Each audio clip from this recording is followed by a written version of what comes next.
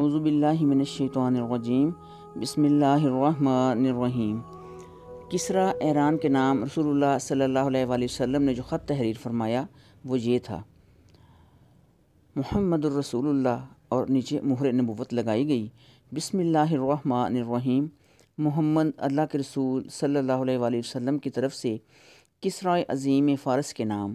उस पर सलाम हो जिसने हदायत की इत्तबा की, जो अल्लाह और उसके रसूल पर ईमान लाया और जिसने इकरार किया कि अल्लाह के अलावा कोई मबूद नहीं, वो अकेला है, उसका कोई शरीक नहीं और मोहम्मद सल्लल्लाहु अलैहि वसल्लम उसका बंदा और उसका रसूल है। मैं आपको अल्लाह की तरफ़ बुलाता हूँ।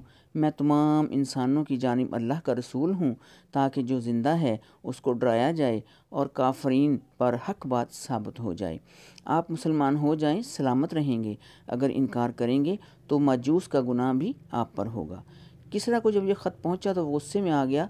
उसने ना जेबा जुमला कहा और नामा मुबारक फाड़ दिया।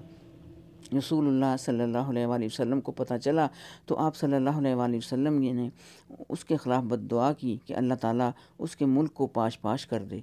अल्लाह ताला ने ये दुआ कबूल फरमाई और उसके मुल्क को पारा पारा करके रख दिया।